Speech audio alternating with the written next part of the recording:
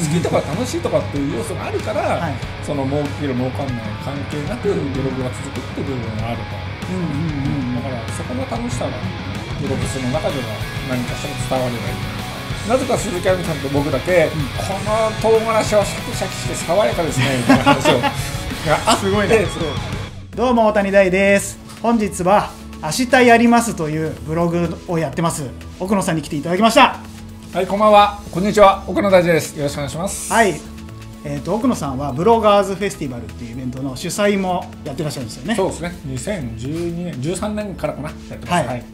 6年ぐらいやってるんですよね。えー、と回数としては6回ですね。そうですよね。はいはい、うん。僕は全部行ってるんですけど。ありがとうございます。はい。こちらこそありがとうございます。最近でもブロフェス以外のイベントってそんなにね数が少なくなってきちゃって、東京は減ったのかもしくはクローズドになっていて目立たなくなってるのかどっちか。ああそうかそうか、ん。クローズドっていうものもありますよねあのやっぱ確かにね。りこの23年はやっぱオンラインサロンブームっていうのがあった、はいはい。あるじゃないですか、はい。でやっぱりサロンの中で、ううんなんかゲストを呼んでお話をしましょうっていうのがあったりもするんで、はい。そうすると、うん、オープンにはならないっていうケースは結構出てるんですよね、うんうんうん。ブロフェスっていうのは割とそこをずっと意地張ってオープンっていうことでやってるから、うん。うん逆に目立ってきてるのかもしれないなと、うんうん。知れないなとは、うん思います、うんうん。はい。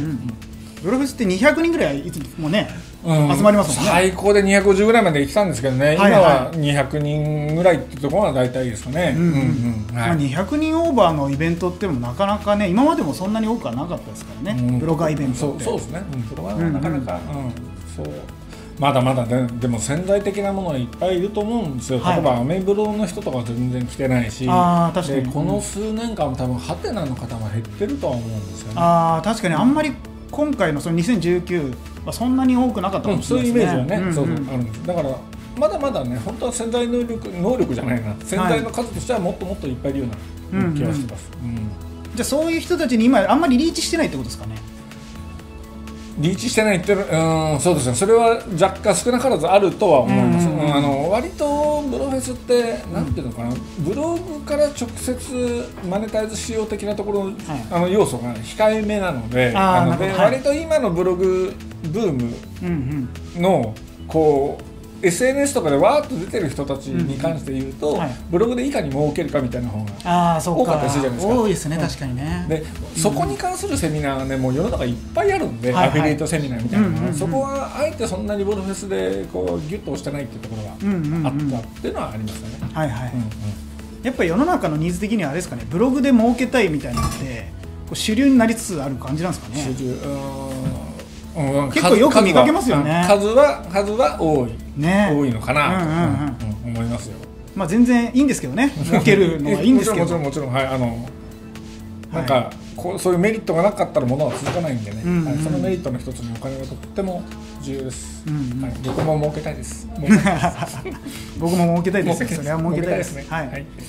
まあでも儲け優先になっちゃうとねどうしても続かなかったりとかうん、まあ、ね。いや結局もしそのビジネスとしてブログをやるんであれば、うん。普通の会社とかで一緒であのなんか何ヶ月、うん、成果が出なかったら撤退しろみたいな話ってあるじゃないですか、はい。はい結局そういうのと同じ判断でブログもやめなきゃいけなくなっちゃうから,、からそれはあの仕事としてビジネスとしてブログをするんであれば、はい。あのとっととあの見定めてとっとと撤退するならしてくださいって話だと思うんですよ。はいはい。まあ、でもその他に好きとか嫌いとか楽しいとか、嫌いは関係ないな。好きとか楽しいとかっていう要素があるから、はいその儲ける儲かんない関係なくブログが続くっていう部分はあると思うんですよね、うんうんうんうん。だからそこの楽しさはブロフェスの中では何かしら伝わればいいなとは思うんうってんはおります、うん。はい。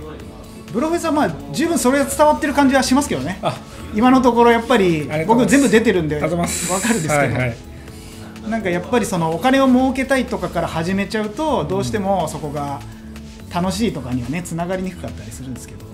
逆に言ったら楽い、しいから入るとお金につながったりはね結構簡単にいっちゃったりするんですよね。そういう事例を見ているつもりなので、うんうん。そういうところの良さは伝えたいなってのはあるんですよね、うんうんうんそうそう。先日ね奥野さんにあのはい試食会というか、辛いもののうん。食べ比べみたいなイベント誘っていただいて、出会いは本当に1年ちょっと前で、はい。はい。あのレッティというねあのグルメメディアの中で、うん。えー取材の中で、えータレントの鈴木亜美さんはい。が、うん。その鎮火司祭さんと、えーコラボメニューを作って市政イベントにそのコラボメニューで、えー勝負するっていうところがあったんですね、はい。はいでそれの取材で、えー鎮火司祭を訪れたのが僕も最初だったんです、はい。であの鈴木亜美さんのマネージャーみたいな人とか、その鎮火司祭のスタッフはそうでもなかったけど、そのなんかレッティのメディアの編集さんとかが、みんな辛い辛い辛い辛いって言ってる中で、なぜか鈴木亜美さんと僕だけ、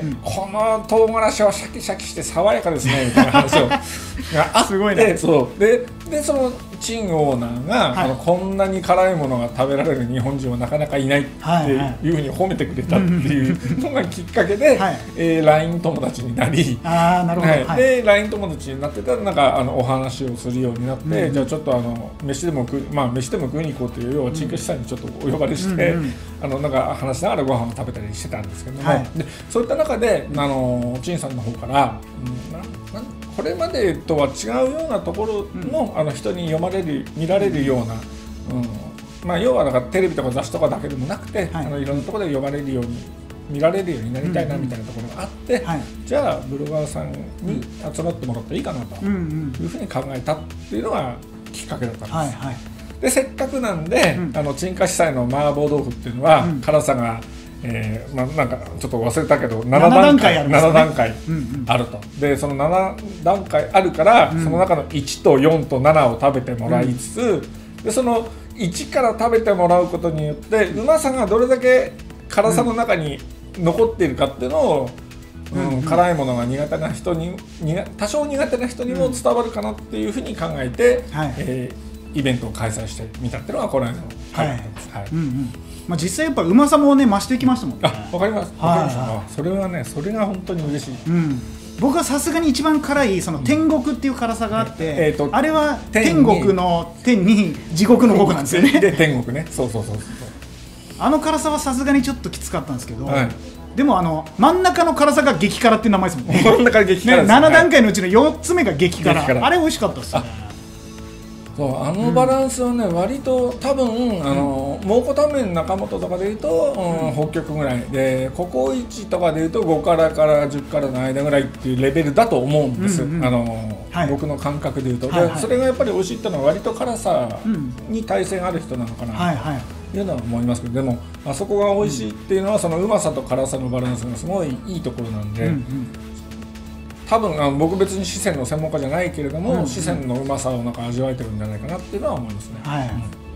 なんかああいう食事系イベントはしょっちゅうあるんですけどね実際ね、はいはいブロガー集まって試食してみたいな、ただまあ、ね。やっぱりそのなんていうのかなあのただただ食べてうまかったうまくなかったあまあうまくなかったってあんまりレビューにはないんだけど ただ食べてうまかったまた行こうっていうのは割とどこでもやると思うんだけれども、うんうんその147みたいな段階を分けて、うん。そのなんか味の残りとかを確かめてもらうっていうのはちょっと一つね、うんうん。考えてみたところであの沈下したみたいなところじゃなくてはできないし、うんうん。でそれを味わってもらえる人もいてでそれを表現してもらえる人もいたっていうのは、うん。今回良かったなはい。というふうに思ってますね。はい。うんはいというわけで奥野さんとはブロガーイベントについていろいろお話しさせていただいたんですがまたブロガーズフェスティバル2020が予定は一応あり、はいうん、いつやるかとか全あ2020かどうかもちょっと難しい。まあ、あの例年秋にやっていたのを、うん。今年3月にやっちゃったっていうのがあるんで、はい。じゃあ次回は春なのか秋なのかっていうのを決めてないっていう状況なんですよね、はい。だからまだまだちょっとあのいつどうやるかっていうのは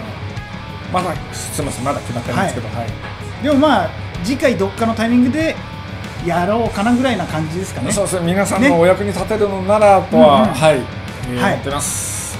ではまたその日を楽しみに待ちたいと思います。